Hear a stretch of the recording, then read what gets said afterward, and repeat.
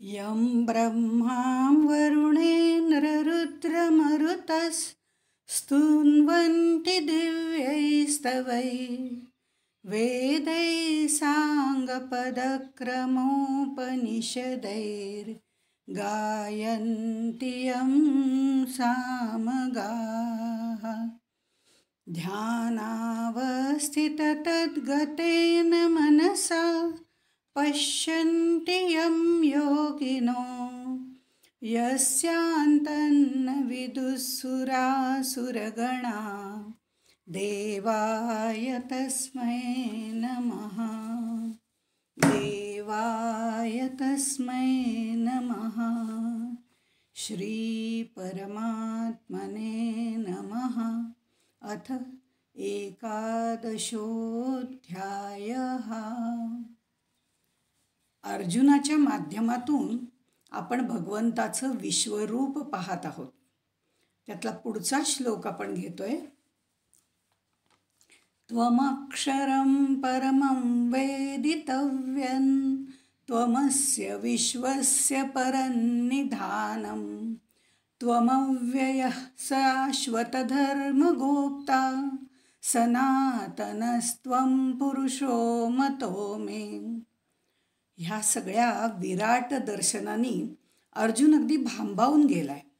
हा साक्षात्कार त्याला इतका विलक्षण होता की अर्जुनाने भिवून डोळे तर मिटलंच पूर्ण डोळे त्याने घट्ट मिटून घेतले पण तरीसुद्धा त्याला ते दर्शन होतच होतं. खाली वर आजूबाजूला त्यांनी कुठेही तोंड फिरवलं तरी ते दर्शन तसंच होत होतं. अर्जुनाचं पाहणं आणि न पाहणं असं काही राहिलंच नव्हतं. दिव्यदृष्टी असल्यानंतर साधे चर्मचक्षू बंद असले काय आणि नसले काय काहीच फरक पडत नाही. दृश्य जे आहे ते सतत डोळ्यापुढे उभे राहते. चर्मचक्षू बंद केले तर बाह्य दृश्य दृश्य जे आहे ते दिसणं आपल्याला बंद होतो. विचार बंद केला की अंतचक्षू ते बंद होऊ शकतात.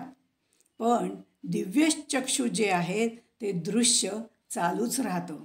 म्हणूनच कदाचित विनोबा भावे त्यांना तिसरा नेत्र म्हणत असले पाहिजेत. अर्जुन म्हणाला ज्याचं ज्ञान करून घ्यायला पाहिजे की ते जसं आहे तसं त्याचं ज्ञान केलं पाहिजे ते परमात्म स्वरूप अक्षरब्रह्म तुम्हीच आहात. जे वेदितव्यम असं जे जे काही आहे ते तुम्हीच आहात. मुमुक्षूला परमतत्वाला जाणण्याची इच्छा असते. मलाही ती आहे. जिज्ञासू साधक ते जाणण्याकरता अनेक प्रकारचे साधनं करतो. आणि ते सच्चिदानंद स्वरूप जे आहे ते निर्गुण निराकार स्वरूप आहे ते पाहण्याची त्याला उत्कंठासुद्धा असते. परम अक्षर हा शब्द वैदिक शब्द आहे. क्षर अक्षराच्या पलीकडचा असा तो अक्षर आणि हा परम अक्षर असा हा पुरुष आहे. या अक्षरतत्वाला दुसरा शब्द प्राण असा आहे. प्राण म्हणजे स्पंदन तालयुक्त गती असाही याचा अर्थ होतो. आपलं स्पंदनयुक्त तत्व सर्वत्र व्यापून आहे. या ब्रह्मांडाचं निधान म्हणजे आश्रयस्थान तुम्हीच आहात.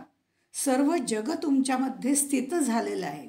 तुमच्यातच उत्पत्ती स्थिती लय होतोय आणि तुम्हीच या सगळ्या क्रियांचा कर्मांचा आधार आहात. तुमच्यामुळेच सनातन धर्माचं रक्षण झालेलं आहे. धर्माला ग्लानी आली म्हणजे भगवंत नेहमी अवतार घेऊन धर्माचं रक्षण करतात.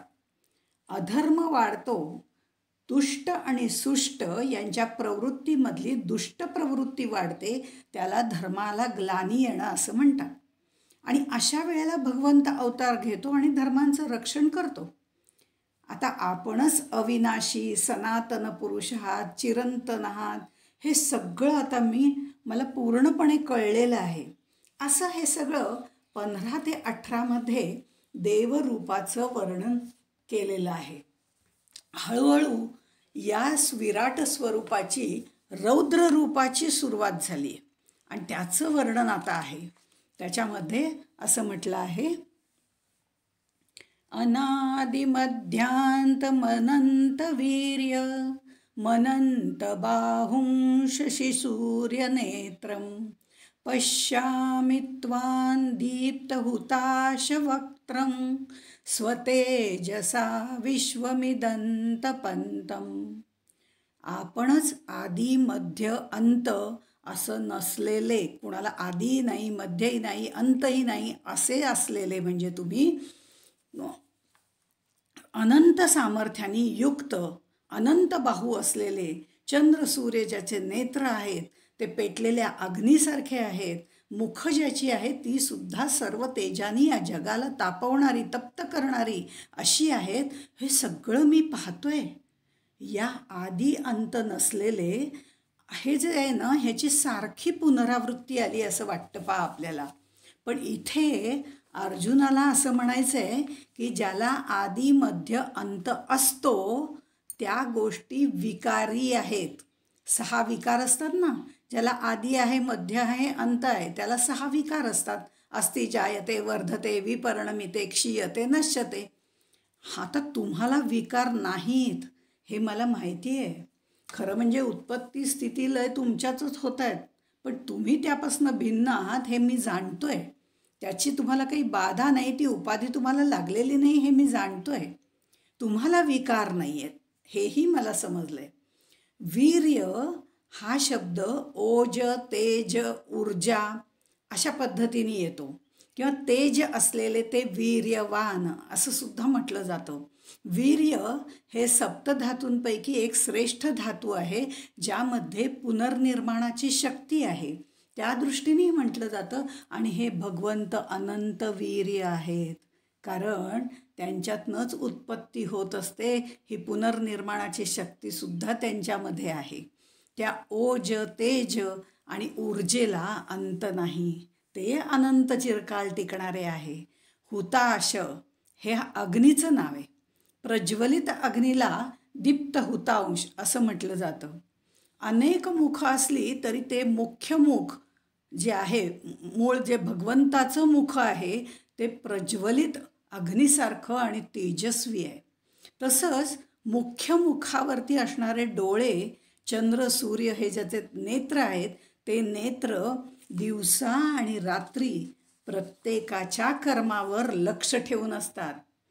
एकाच बिंदूतनं अनेक रेषा काढाव्यात असे हे अनंत बाहू सामर्थ्याने युक्त आहेत. अशा या तेजस्वी भगवंताच्या आधारानेच जे विश्व उभे आहे तेही तप्त झालेलं आहे. या विराट रूपाचं जे तेज आहे त्याच्यामुळे ते तप्त झालेलं आहे. पुढे ते असं म्हणतात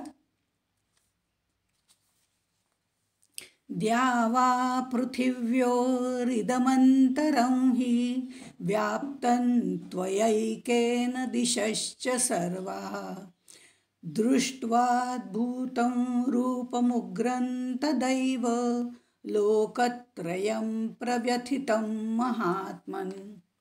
आत्तापर्यंत भगवंताचं देवरूपाचं वर्जन सगळं वर्णन जे आहे ते अर्जुनाने केलं होतं. आता त्याचं उग्र रूप त्याचं सामर्थ्य याचं वर्णन अर्जुन करतोय. तीनही लोक एकाच वेळी अर्जुन पाहतोय. तसंच त्या तीन लोकांच्या ज्या शक्तिरूप देवता आहेत ब ब्रह्मा विष्णू महेश याही त्याला दिसत आहेत हे सर्व सांगायला अर्जुनाला वेळ लागतोय. म्हणजे हे बोलायला त्याला वेळ लागतोय पण दृश्य दिसायला आणि पाहायला त्याला अजिबात वेळ लागत नाही कारण ह्या सगळा जो स्लाईड शो आहे तो इतका भराभर भराभर चालू आहे. पृथ्वी स्वर्ग अवकाश आपणच सगळं व्या व्यापलेलं आहे. त्यामुळे आता मला ना दिशांचं काही भानच उरलेलं नाही. तसंच हे अलौकिक आणि उग्र रूप पाहून तिन्ही लोक भयभीत झालेले आहेत. तुम्ही नाही असं कोणतं स्थान नाही आहे सर्व तुम्ही व्यापलेलंच आहे. हे उग्र रूप पाहून सर्व भयाने त्रस्त झालेले आहेत. अंतराळात केवळ स्फोट झाला तर विजेचा लोळ उठतो. तोही रौद्र रूप धारण करतो. इतकंच कशाला? आपण यान किंवा रॉकेट जी काही उडवली जातात त्याचं सुद्धा बघितलं तर जो खालचा भाग असतो तो एवढा प्रज्वलित असतो तो सुद्धा उग्र असतो. मग इथे तर त्या विराट रूपाने संपूर्ण तेज रूपाने ते प्रगट झालेलं आहे ते किती भयंकर असेल ते सहन होण्याच्या पलीकडचं आहे. त्यामुळे तीनही लोक आता भयभीत झाले असतील असं मला वाटतंय हे अर्जुन म्हणतोय. कारण हे तेज सहन होणं अवघड आहे. पुढे त्यांनी म्हटलेलं आहे अमी त्वां सूरसङ्घा विशन्ति केचिद्भिता प्राञ्जलयो गृह्णन्ति स्वस्तित्युक्त्वा महर्षिसिद्धसङ्घाः स्तुवंती त्वां स्तुतिभिः पुष्कलाभि. आता अर्जुनाला काय काय दर्शन होतं आहे ते बघूया. सूरसंघा. देवांचे जे समूह आहेत ना अकरा रुद्र बारा आदित्य अष्टवसू मरुद्गण पितर गंधर्व यक्ष सर्व देव देवता त्याला त्यांच्यामध्येच दिसत आहेत आणि हे सगळेजण आहेत ते त्या विराट रूपाच्या मुखामध्ये प्रवेश करत आहेत अर्जुन बऱ्याच वेळा स्वर्गामध्ये गेलेला आहे बरं का. देवतांना युद्धात मदत करायला तो गेलेला आहे. त्यामुळे त्याला देवतांची माहिती आहे त्यांचा परिचय आहे. हे सगळं होतं पण आता त्याला पटलं आहे की या देवता ज्या मी ज्यांच्याकडे जात होतो युद्धात ज्यांना मदत करत होतो या सगळ्या देवता भगवंतातच उत्पन्न होतात. त्याच्यातच राहतात आणि त्याच्यातच लय पावतात. हे मात्र मला आत्ताच समजलं आहे म्हणजे पुढे किती एक भयभीत होऊन हात जोडून नामस्मरण उच्चारण करतायत. बघा म्हणजे हे देवदेवतासुद्धा किंवा बाकीचे सगळेजण जे आहेत प्राणी पक्षी हे सगळेजण भयभीत झालेले आहेत. कारण सगळे आता त्याच्या तोंडात जात आहेत त्यामुळे ते सगळेजण हात जोडून नाम उच्चार करतायत त्याचा. जयघोष करतायत. आता घाबरलेला माणूस जो असतो तो नेहमी हात जोडतो. तो शरणागत होतो. तो अभय हवं असतं त्याला म्हणून तो हात जोडतो. नॉर्मल व्यवहारात सुद्धा आपल्याला काही भय वाटलं आणि कोणी समोर भयानक उभं राहिलं तर आपण सुद्धा पटकन हात जोडतो की देवा वाचव बाबा. आता काही देवता ज्या आहेत नरसिंह आहे काली आहे हे सगळ्या रौद्र रूपाच्या आहेत. म्हणूनही तसं म्हटलं की ह्या सगळ्यांना बघितल्यावर सुद्धा ते रौद्र रूप आणखीन भयभीत होऊन सोडतं आहे आम्हाला सगळ्यांना. आम्ही घाबरून जातो आहे आणि बाकीचे सगळेजण शरणागत भावाने हात जोडून पुढे जात आहेत बरं हे महर्षी सिद्ध हे लोक जगाचं कल्याण हो कल्याण हो असं म्हणतच. कल्याण भव कल्याण भव असंच म्हणत असतात कारण त्यांना काही मृत्यू बित्तूचं भय नाही आहे आणि उत्तम उत्तम स्तोत्रांनी ते आपली स्तुती करतायत. कारण मुखे मुखामध्ये तुमच्या प्रवेश प्रवेश करायचा आहे त्यामुळे ते स्तोत्र म्हणत आहेत कारण त्यांना माहिती आहे अंतेमती सागती. त्यामुळे ते उत्तम उत्तम स्तोत्रांनी आपली स्तुती करतायत आणि बाकीच्या सगळ्यांचं कल्याण हो अशी इच्छाही प्रगट करतायत. देवता महर्षी सिद्ध सर्वच विराट रूपाची अंग आहेत. अर्जुनही हे सर्व आश्चर्यचकित होऊन पाहतोय. खरं तर अर्जुनसुद्धा या विश्वरूपाचा एक भाग आहे. पण तरीही भगवंतामध्ये हे सर्व देवगण पाहत असताना त्यांना स्वतःला आणि भगवंताला तो वेगळंच समजतोय. म्हणजे अजूनही त्याच्या मनामध्ये द्वैत आहे. पुढे रुद्रादित्या वसवो ये च साध्या। विश्वेश्विनौ मरुतश्चोमपाश्च। गन्धर्वयक्षासुरसिद्धसङ्घा वीक्षन्ते त्वां विस्मिताश्चैव सर्वे। आता हे बघा अकरा रुद्र बारा आदित्य आठ वसु बारा साध्य गण दहा विश्वदेव वे देव दोन अश्विनी कुमार एकोणपन्नास मरुदगण गंधर्व यक्ष असुर सिद्ध सिद्धगण त्यांचे समुदाय. हे सगळं बघताना हे सगळं बघताना आपल्याकडे आश्चर्यचकित होऊन भगवंताकडे आश्चर्यचकित होऊन अर्जुन बघतोय हे भगवंताला सुद्धा समजतंय. आणि अर्जुनालाही आश्चर्य वाटते कारण अकरा रुद्र बारा आदित्य हे दोन अश्विनी कुमार मरुद्गण यक्ष या सगळ्यांबद्दल आपण मागे पाहिलेलं आहे. हे सगळे तप्त भूमी झालेली आहे. आता ही सगळी भस् भस्मीभूत होते की काय? ही सुद्धा त्यांना भीती वाटायला लागली. हे स्वर्गलोकाचं काय होतं आहे अशी भीती वाटायला लागली. हे जे सगळेजण आहेत अकरा रुद्र बारा आदित्य वगैरे हे आपण मागे पाहिलेलं आहे. पण धर्माची पत्नी दक्षकन्या साध्या हिच्यापासनं बारा साध्य देवांची उत्पत्ती झालेली आहे. आपण मागे पाहिलेलं आहे दक्षाच्या साठ कन्या होत्या वगैरे. आता ह्या सगळ्याच्यामध्ये हा पुढचा जो भाग आहे तो आपण पाहिला नव्हता. तो म्हणजे बारा साध्य देवांची उत्पत्ती. आता गरम अन्न खाणारे म्हणून पितरांना उष्मपा असं सुद्धा म्हटलेलं आहे बरं का. आता पितरांचा समुदाय जिथे वास्तव्य करतो त्याला पितृलोक असं म्हणतात. मृत्यूनंतर वैतरणी नदीच्या पलीकडे हे पितर राहतात. असं पुराणात केलेली ही सगळी कल्पना म्हणा किंवा पुराणात सांगितलेलं आहे. आता कश्यप मुनींच्या खरं म्हणजे असं सांगितलेलं आहे कश्यप मुनींच्या तेरा भार्या या शक्तिरूपिणी आहेत. हे आपण मागे पाहिलेलं आहे. की मग त्यांनी कोणाकोणाला ह्या आपल्या दक्षाने ज्या कन्या दिलेल्या आहेत त्याच्यात कश्यपांना दिलेल्या आहेत. तर या कश्यप मुनींच्या प्राधा आणि मुनी या पत्नींपासनं गंधर्व निर्माण झालेले आहेत. हे ताल सूर लय यांच्या या देवता आहेत. वाद्य आणि नृत्यकलेमध्ये प्रवीण आहेत. त्यांच्या स्थानाला गंधर्व लोक म्हणतात. आपण आधी बघितला तो पितृलोक. आणि आता जो म्हणतोय तो गंधर्व लोक आहे. आता ह्या कश्यपाच्याच कश्यप ऋषींच्याच खसा खसा या पत्नीपासनं यक्ष निर्माण झालेले जलदेवता निर्माण झाले. त्यांचा राजा कुबेर आणि कुबेराच्या वेळीला आपण पाहिलेलं आहे की यक्ष कुणाला म्हणतात वगैरे हे सगळं आपण पाहिलेलं आहे. कश्यप पत्नी दितीपासून निर्माण होणारे दैत्य आणि दनूपासून निर्माण होणारे दानव राक्षस त्यांना असुर असं म्हणतात. आणि सुर म्हणजे देव त्याच्या विरुद्ध. ज्यांचे गुणधर्म आहेत ते असुरांच्या विरुद्ध ज्यांचे गुणधर्म आहेत ते सुर म्हणजे देव. आता कश्यप ऋषींसारख्यांना सिद्ध म्हणतात. आता हे सगळं जे आहे त्याच्यामध्ये हे स्वाधा जे कोण आहेत म्हणजे या साध्य देवता असं त्यांना म्हणतात. जे साध्यापासून ज्यांची निर्मिती झालेली आहेत ते साध्य देव. असं म्हटलेलं आहे. हे पितृ पितर लोकात पितृलोकात राहणारे जे आहेत ते पितर आहेत. तसंच गंधर्व आहेत जे तालसूर यांच्या लईमध्ये प्रवीण आहेत असे ते गंधर्व लोक आहेत. तसंच यक्ष आहेत आणि कुबेर आहे आणि नंतर दैत्य राक्षस हे सगळेच जण आहेत हो.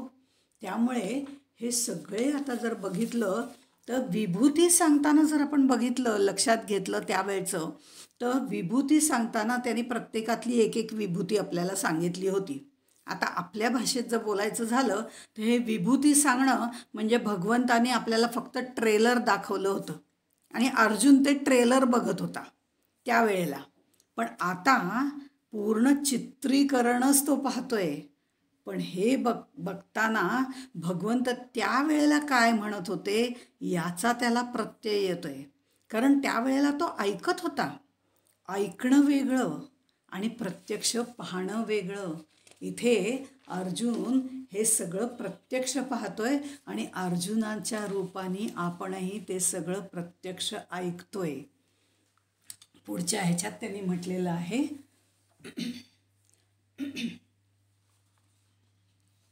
रूपं महत्ते बहुवक्त्रनेत्रं महाबाहो बहुबाहुरूप रूपादं बहुदरं बहुद्रष्टाकरालन् दृष्ट्वा लोकाः प्रव्यथितास्तयाहं। नभस्पृशन् दीप्तमनेकवर्ण व्यात्ताननन्दीप्तनि विशालनेत्रं दृष्ट्वा हि त्वां प्रव्यथितान्तरात्मा धृतिन्न विन्दामि शमं च विष्णू। हे महाबाहो आप हे सगळे जे महाबाहो आहेत आपले अनेक तोंड अनेक डोळे असलेले अनेक हात पाय मांड्या असलेले अनेक उदरांचे विक्राळ असे जे दाढांचं महान रूप आहे ते पाहून हे सगळे लोक व्याकुळ व्हायला लागलेले आहेत. माझीही तीच अवस्था आहे. आता इथे महाभाऊ हे अर्जुनाला म्हटलेलं नाही ते त्यांनी भगवंताला म्हटले की मी इतके दिवस तू मला म्हणत होतास महाबाहू वगैरे माझ्या अंगामध्ये बळ आहे दंडामध्ये बळ आहे पण आता मीच तुला महाबाहू म्हणतो कारण तू त्याहीपेक्षा श्रेष्ठ आहे हे आता त्याला हळूहळू कळायला लागलेलं आहे. त्यामुळे हे जे विक्राळ दाढांचं रूप आहे हे सगळं पाहून सगळे लोक व्याकुळ व्हायला लागलेत. अरे लोक कशाला? माझी सुद्धा तीच अवस्था झाली. आहे जिथे देव दानव सगळेच घाबरले तिथं माझं काय वेगळं असणार? मी सुद्धा घाबरलो आहे कारण हे विष्णू आकाशाला जाऊन भिडलेलं हे तुझं दैदिप्यमान. अनेक रूपांनी असं युक्त रूप. नभस्पृशम असं म्हटलेलं आहे. खरं तर स्पर्श करणे हा वायूचा गुण आहे. पाहायला दृश्य लागतं. आणि स्पर्शाला वायू लागतो किंवा वायू रूपाने स्पर्श केला जातो. माणसाची दृष्टी जिथपर्यंत जाऊ शकते तिथपर्यंत तो पाहू शकतो. नंतर त्याला सगळं आकाशच दिसतं. अर्जुनाची दृष्टी जिथपर्यंत पोहोचू शकते तोपर्यंत त्याला ते विराट रूप दिसतंय. हे विराट रूप इतकं विलक्षण आहे की दिव्य दृष्टीसुद्धा तोकडी पडेल की काय असं वाटायला लागतं. कारण हे रूप दिसतंय खूप मोठं दिसतंय भव्य दिसतंय अगदी आकाशापर्यंत टेकलेलं दिसतंय कारण आम्हाला आकाशापर्यंतचंच दिसतं. पण त्याही पलीकडे ते पसरलेलं आहे त्यामुळे माझी ही दृष्टी आता मला कमी पडते की काय असं वाटतंय कारण ती दृष्टी देणारा त्याहीपेक्षा विस्तृत आहे मोठा आहे भूमा आहे. ही वेगवेगळी तोंड पसरलेली आणि प्रकाशमान नेत्रांनी युक्त असं हे रूप फार भयंकर आहे. कारण त्या मुखातनं असह्य अशा वेगवेगळ्या रंगाच्या खदिरांगाराप्रमाणे लाल तांबूस शेंद्री अशा ज्वाळा दिसत आहेत त्याच्यात काही काळ्या निळ्यासुद्धा ज्वाळा आहेत. डोळ्यांच्या तेजातही त्या ज्वाळा दिसत आहेत असं हे तुझं न बघवणारं असह्य रूप मला आता पाहता येत नाही आहे अर्जुन ते पाहत होता पण आता पाहता येत नाही. अर्जुनाने पाठ फिरवली. नजर खाली वर करून बघितलं. आजूबाजूला करून बघितली. डोळे मिटले तरीही काही उपयोग होई नाही. कारण ते रूप दिसतच राहायचं. खरं सांगायचं तर आता अर्जुन अगदी हेल्पलेस झाला होता.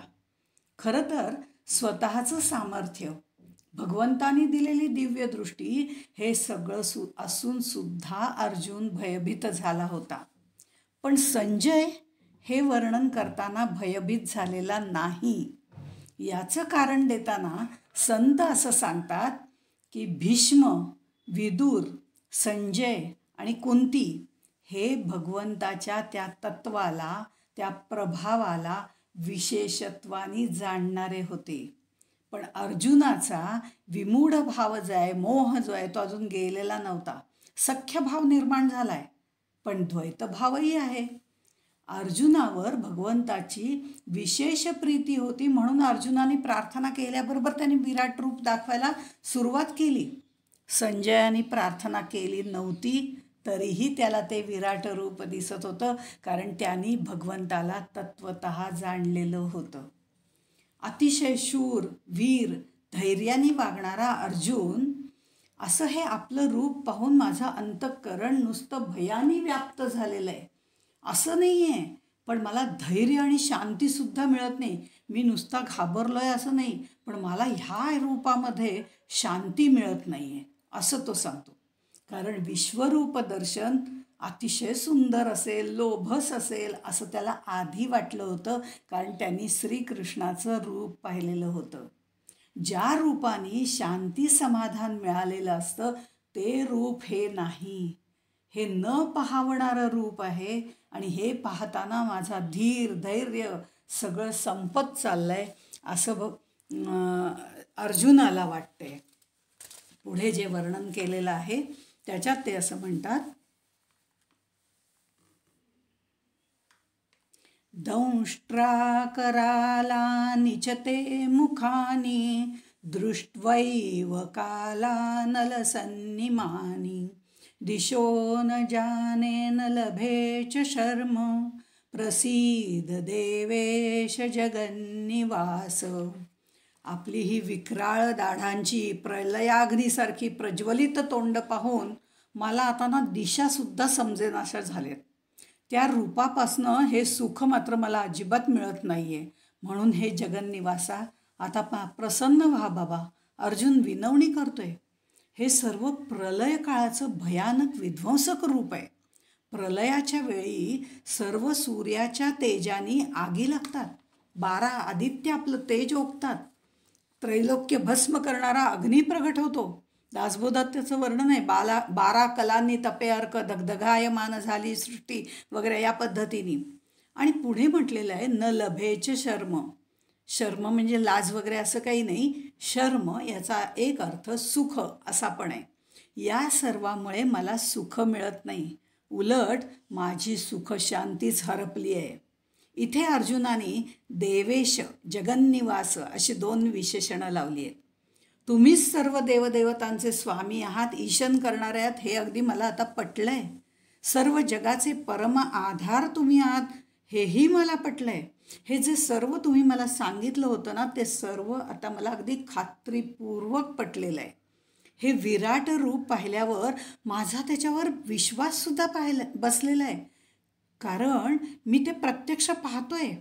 आता हे विराट रूप थोडंसं आवर्त घ्या बाबा.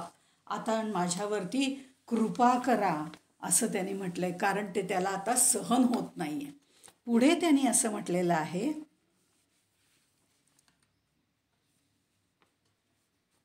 अमी च त्वान् धृतराष्ट्रस्य पुत्रः सर्वैः सहैवावनिपालसङ्घैः भीष्मो द्रोणः सूतपुत्रस्तथासौ। सहास्मदीयैरपि योधमुखैः वक्त्राणि ते त्वरमाणा विशन्ति दंष्ट्राकरालानि भयानकानि। केचिद्विलग्ना दशनान्तरेषु सन्दृश्यन्ते चूर्णितैरुत्तमाङ्गैः हे आणखीन मी काय अकराळ विक्राळ बघतोय? कारण हे सगळं भ भगवंताला अर्जुन म्हणेपर्यंत त्यांनी पुढचं दाखवायला सुरुवात केलेली आहे. हे सर्व धृतराष्ट्राचे पुत्र म्हणजे कौरव अगदी सर्वच्या सर्व ह्या राजांच्या समुदायासह आपल्या मुखामध्ये प्रवेश करतायत. हे राजे महाराजे सगळे आपल्या मुखामध्ये जात आहेत अहो इतकंच नाही पितामह भीष्म गुरु द्रोणाचार्य यांना कोणी युद्धामध्ये मारणं शक्य नाही ते सुद्धा त्या भयानक मुखामध्ये जात आहेत अहो तो सूतपूर्ण करणं. तो आमच्या पक्षातला पक्षातली समोरचे योद्धे जे आहेत तो सूतपुत्र कर्ण आहे. आमच्या पक्षातही काही योद्धे आहेत. हे सगळे वेगाने आपल्या अकराळ विक्राळ दाढांच्या भयंकर तोंडामध्ये घुसत आहेत कित्येक जण छिन्न भिच्छिन्न भिन्न झालेले आहेत. मला आता ते बघवत नाही आहे त्यांची मस्तकं जी आहेत ती फुटलेली आहेत. आणि काही आपल्या दातांच्या फटीमध्ये अडकलेले पण मला दिसत आहेत काहींचं त्या दाताच्या फटीमध्ये चूर्ण झालेलं दिसतंय. आता हे सगळं वर्णन ऐकताना आपण जर ऐकलं असेल तर अर्जुनाच्या मनातले संस्कार अजूनही गेलेले नाहीत. ते आहेत तसेच आहेत. तो म्हणताना पितामह भीष्म गुरुद्रोणाचार्य असं म्हणतोय त्याचप्रमाणे सूतपुत्र कर्ण असंही म्हणतोय. आता हे सर्व एकाच मुखात जात आहेत तरीसुद्धा अर्जुन सर्व द्वैत भावानी बघतोय. भगवंत अर्जुनाला भविष्यातल्या गोष्टी इथे दाखवतोय. खरं तर सर्व राजे कौरव द्रोण हे सगळे इथे लढायला आलेले आहेत. आणि ते सर्व मृत्यूच्या दारात जाताना अर्जुनाला दिसत आहेत यावरून भगवंत भूत भविष्य वर्तमान या सगळ्याचा आधार आहेत हे आपण लक्षात घ्यायला पाहिजे. भगवंताच्या सुखकर्ता दुःखहर्ता प्रेमळ सोज्वळ स्वरूप हे सगळं पाहिजे आम्हाला सवय झालेली असते. पण भगवंताचं यथार्थ दर्शन होणं आवश्यक आहे. जन्माचा आम्हाला आनंद होतो. पण मरणाचं आम्हाला दुःख वाटतं पण हे दोन्हीही गरजेचं आहे. कारण प्रलयामध्ये नवनिर्मितीचं बीज असतं. त्याची उत्पत्ती क्रीडा आम्हाला भावते आवडते पण त्याचं प्रलय करणारं संहारक रूप आम्हाला नकोसं वाटतं तसंच काहीसं अर्जुनाचं झालं आहे त्याची ही मनस्थिती लक्षात घेऊन आपण इथेच थांबूया. श्रीकृष्णार्पणमस्तु। शुभं भवतु। शुभं भव